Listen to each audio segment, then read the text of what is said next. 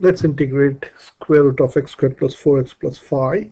Uh, so the first step that I'm going to do is uh, completing the square.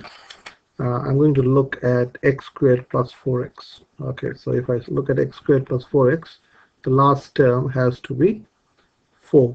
So this is square root of x squared plus 4x plus 4. Now the way I got 4 is I hope you know is you halve this coefficient of x which is 2 and then you square it okay? And then 4 plus 1 is 5 dx.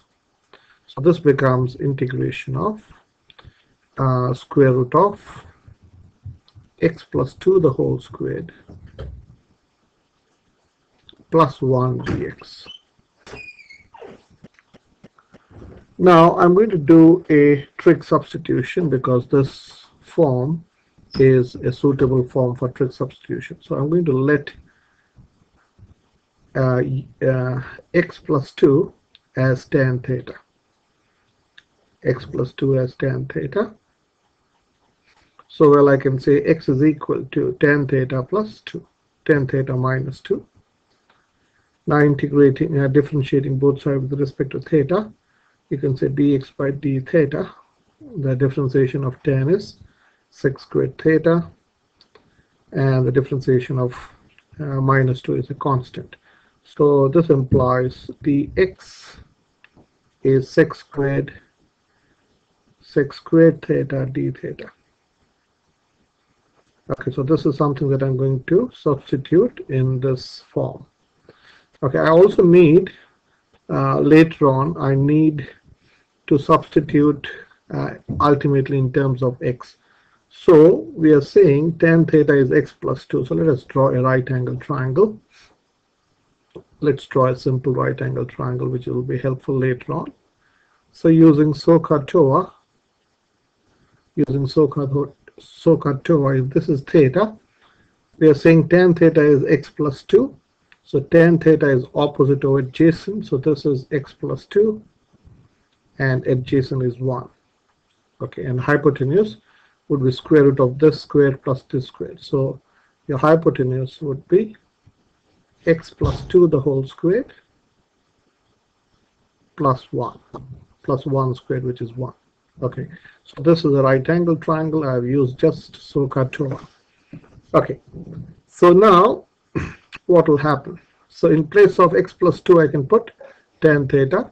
In place of dx, I can put sec squared theta d theta. So this becomes uh, integration. So from here, this whole thing changes to square root of uh, tan squared theta tan squared theta plus 1 times sec squared theta d theta. Okay, so this is equal to integration of 1 plus tan squared is sec squared. So into square root of sec squared theta times sec squared theta d theta. Now square root of sec squared becomes sec theta and this is sec squared theta. So this uh, ends up as integration of sec cube theta d theta. Now we can do uh, integration by parts. So let me write the formula of integration by parts. Uh, integration of u times v dash d theta is equal to u v minus integration of u dash v d theta. So this is the formula for integration by parts. So I'm going to let one as u and other as v dash, which is uh, the derivative. So I'm going to let, let, okay, so before that I will have to write this as, uh, therefore, or this implies, can I say sec cube theta, sec cube theta d theta is equal to integration of sec theta times sec squared theta d theta.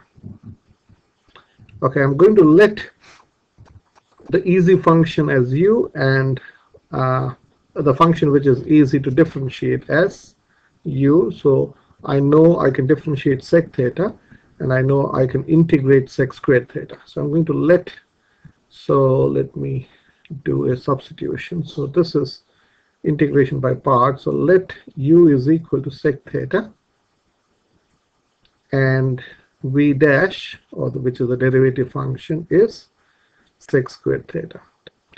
So this implies if you differentiate this u prime or u dash is equal to sec theta integration. Sorry differentiation of sec theta is sec theta tan theta.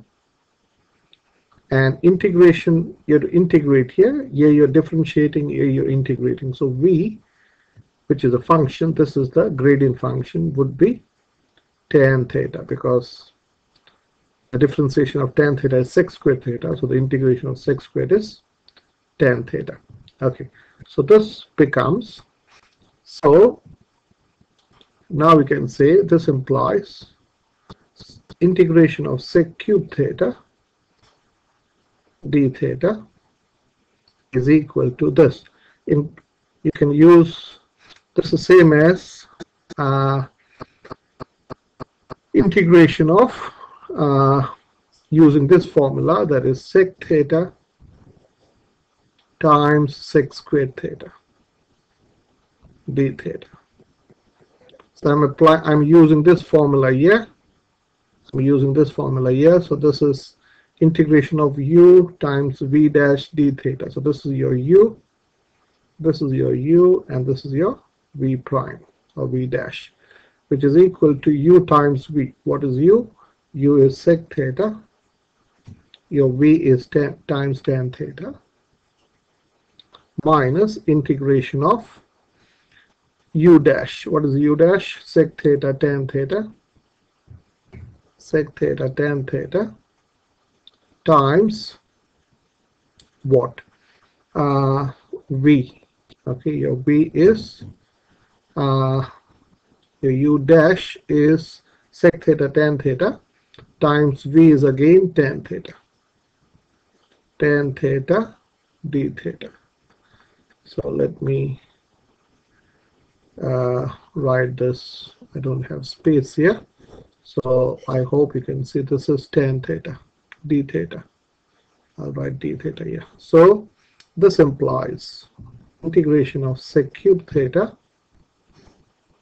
I'll rewrite the whole thing is equal to sec theta times tan theta minus integration of sec theta times tan theta times tan, tan theta is tan squared theta d theta.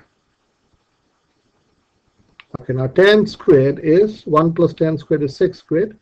So this is, in place of tan theta, I can write sec squared minus 1 minus integration of sec theta times sec squared theta minus 1 d theta which is equal to sec theta times tan theta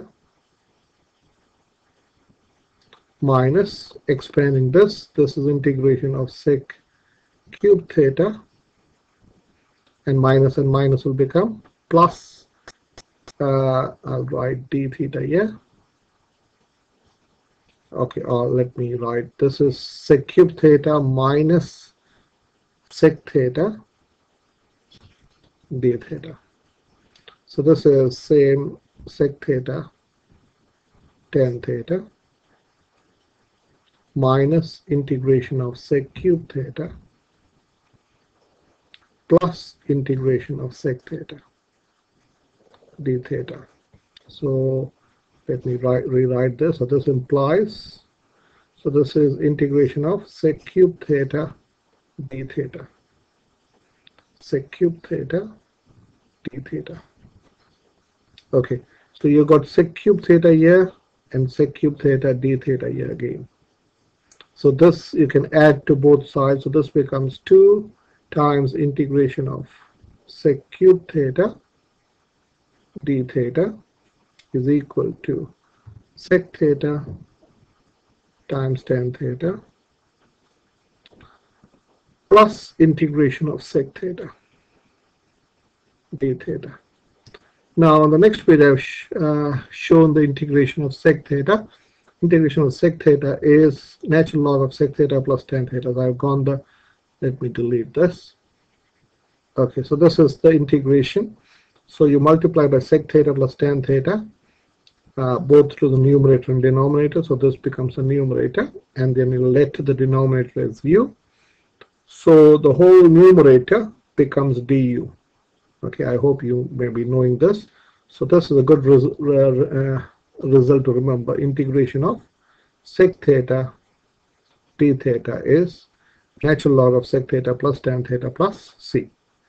Okay, so let's go back. So here, in place of sec theta, we can write natural log of sec theta plus tan theta and divide the whole thing by 2. So this is integration of sec cube theta d theta is equal to, this is half times sec theta tan theta plus natural log of sec theta plus tan theta. Plus the constant of integration. Okay, so now let's go back to the triangle. So I told you this triangle is going to be important. So tan theta from this we know is x plus 2. And from this triangle can we see sec theta is a reciprocal of cos. Cos is adjacent over hypotenuse. So sec would be hypotenuse over adjacent. So sec theta would be square root of x plus 2 the whole squared plus 1 over 1 over 1 which is which doesn't make any difference. So sec theta is square root of x plus 2 the whole squared plus 1 so in place of sec theta I'm going to put this and tan theta is x plus 2 so so you can say therefore this is integration of sec cube theta because ultimately we need to write this in terms of x is equal to half times sec theta is square root of x plus 2 the whole square plus 1 plus tan theta sorry times tan theta times times x plus 2 plus natural log of sec theta again the same thing it is square root of x plus 2 the whole squared plus 1 plus x plus 2 plus c. So this is the, so you can say therefore, you can say integration of x squared plus 4x plus 5 dx is equal to this.